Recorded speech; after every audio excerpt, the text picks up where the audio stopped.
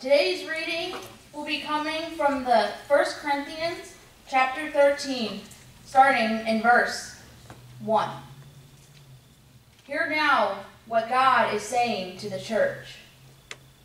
If I speak in the tongues of mortals and angels, but do not have love, I am a noisy gong or a clanging cymbal. If I have prophetic powers and understand all mysteries and all knowledge, and if I have all faith so as to remove mountains, but do not have love, I am nothing. If I give away all my possessions, and if I hand over my body so that I may boast, but do not have love, I gain nothing. Love is patient. Love is kind. Love is not envious or boastful or arrogant or rude.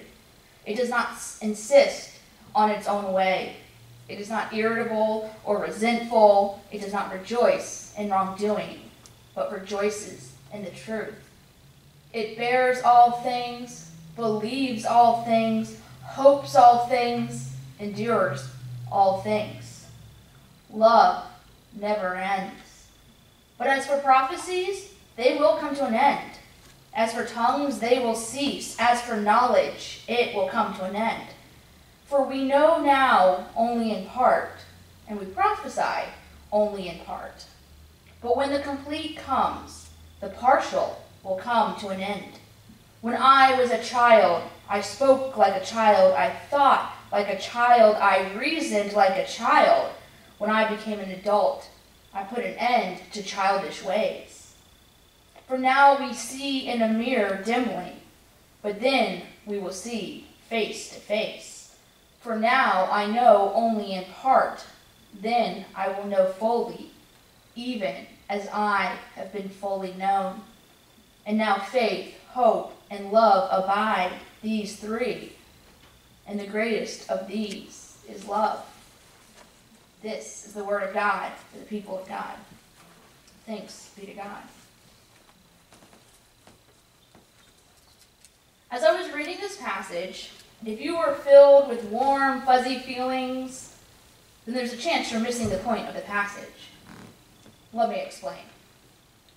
I am sure that almost everyone here has heard this, this passage read at at least one wedding, possibly even your own, seen it on at least one greeting card, and maybe even on a decorative pillow. And of course, there's nothing wrong with that. It's a beautifully poetic passage about our ultimate call to love one another, an appropriate reminder on one's wedding day, appropriate to put in our houses and homes to remind us to love. But do not be fooled by Paul's use of poetic language. This call to love in this passage is anything but a tame love aimed at making us feel good about ourselves. It's radical. One might even say an extreme call. But it is what we are called to do as a faithful community. The church of Corinth, which Paul was writing to, wasn't actually that different than our modern day American church in some ways. By the time Paul writes this letter, they have already become become caught up in trying to be the best at being a Christian. There was a sense of competitive spirituality, and arguments began to erupt, specifically around the idea of speaking in tongues. If you don't speak in tongues, you're not a real Christian, they would say to each other. If you don't do this, then is the Spirit even with you? Of course, we know that doesn't, that's not how it really works. But they had become so obsessed with doing spirituality that they had forgotten the heart of the gospel, which is love. This is why Paul says that their spirituality is nothing but noise. Their prophetic powers are nothing, and their good deeds of charity leave them with nothing to be gained. It sounds rather harsh, when I read this, I think, I try so hard to do the right thing. I try to live a life worthy of the call of the gospel, but that's not enough? It feels familiar, doesn't it? Our churches often feel like they're in competition with one another. we too can become so focused on being the best that we could be that we forget to love our neighbors. And I think that when we read this, we think, this is kind of disappointing, right? I can do it and still be wrong. But I actually think if you read this passage, there's a frame message. Because the point isn't that we have to do the best works of charity or preach the most prophetic sermon, have the most people in our pews. The point is simple that we get to love. And I use the word get very intentionally, that it is a gift that we get to love one another. Author of a book that I have found to be very formative in my own sense of what it means to be loved, Roberta Bondi writes in her book, To Love as God Loves, no amount of pious behavior or Christian discipline can replace love.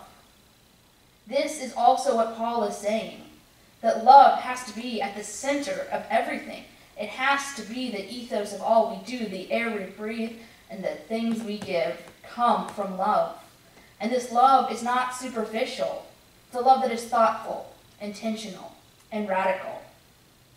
Now, generally speaking, most of us avoid living our lives in extremes, and there is health to that. The idea of being labeled a radical makes most of us cringe. But this is the call of the gospel. It's a call to love in a way that is an extreme, in a way that doesn't make sense in our culture. The gospel was never meant to fit into our own worldview, our own culture, or our own being in the wor- way of being in the world. The gospel was always meant to grow our worldview, challenge our culture, and transform our way of being. I'll say it again. The gospel was meant to grow our worldview, challenge our culture, and transform the way of being. And this was a difficult call for the church in Corinth. They wanted to smush Christianity into the ways of their own culture. And it can be difficult for us.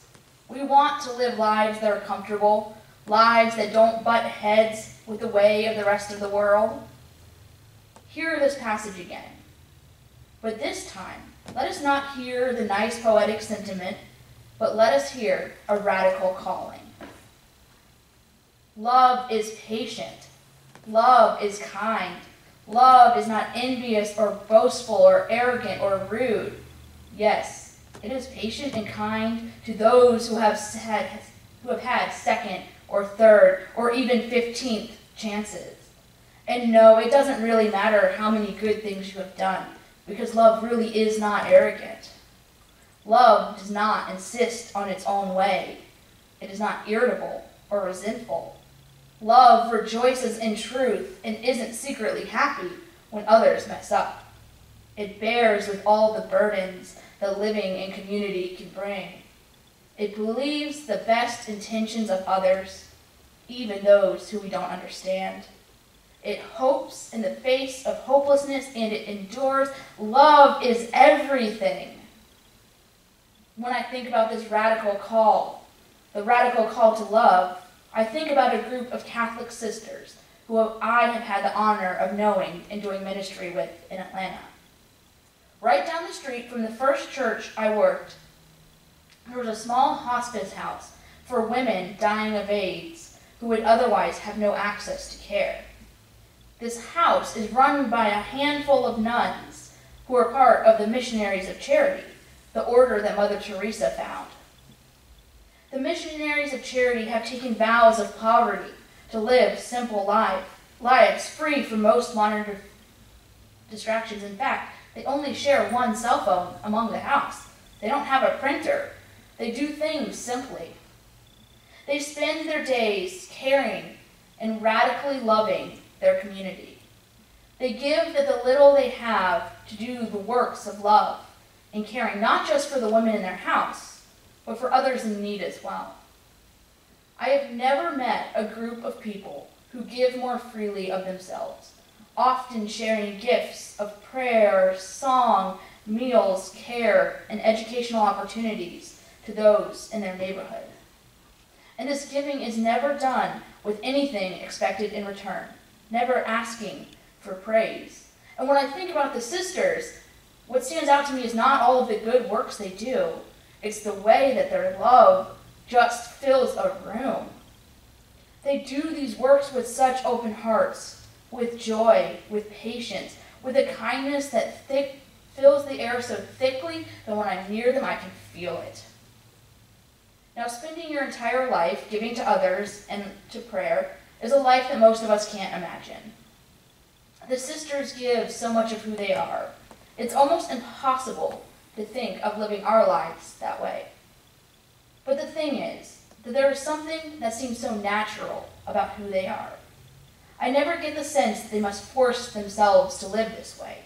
In fact, I get the sense when I'm around them that they are living into their most natural humanity. See, this love that Paul is calling us to, while it is extreme, it's actually who God called, who God made us to be. Because love was the plan from the very beginning. As I said in my first sermon, that love has always been the plan. And I think you would actually agree. if you think about the moments in your own life that are the sweetest memories, the moments that make you stop and think, yes, this is who I was meant to be, I am willing to bet those moments are surrounded in the most pure love you've experienced. The moments when you felt like your most truest self, the moments are the moments that you loved the deepest, cared for others, expecting nothing in return, found joy in giving. Am I right? Friends, the call, this radical call of love is not a burden to bear. Rather, it is a gift that we are given. This passage is both a call and a promise. Bondi writes in her book, Love is not a duty we grimly perform. It has to do with delight in God and other people, even at its hardest. Hear that word, delight.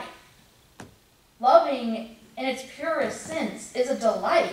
It's a joy. It's the best thing that we have the opportunity to do in our life. So, how do we delight in people?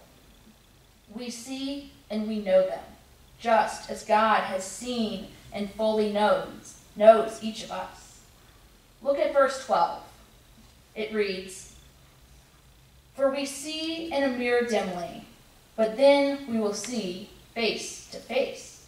Now I know only in part, then I will know fully, even as I have been fully known. Isn't that what love ultimately is?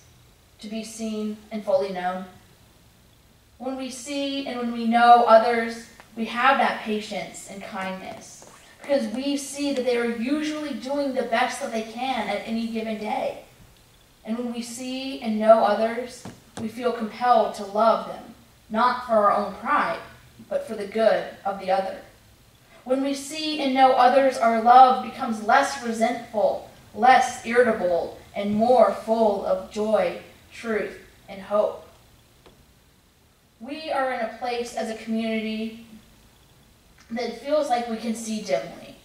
We know that God is calling us to do something new, but we don't know exactly what that call will be. We can see that God is calling us to make big changes, but we don't exactly know what those changes will be yet.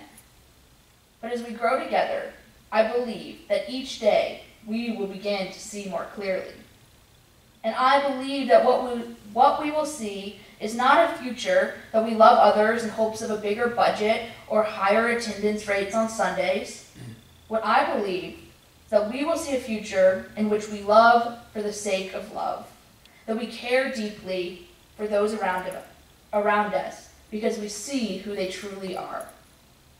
God is calling us to take leaps of faith, to love in ways that just won't make sense, that may feel even counterintuitive that aren't about a bottom line. And then and when we have this gift of love, both given and received, well then we will be fully known because we will be living into the best parts of who God has created us to be.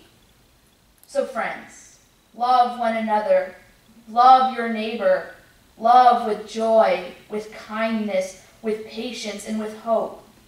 Put away the desire to be the best or the most spiritual or even the most generous. Take a deep breath. Look someone in the eye and see them.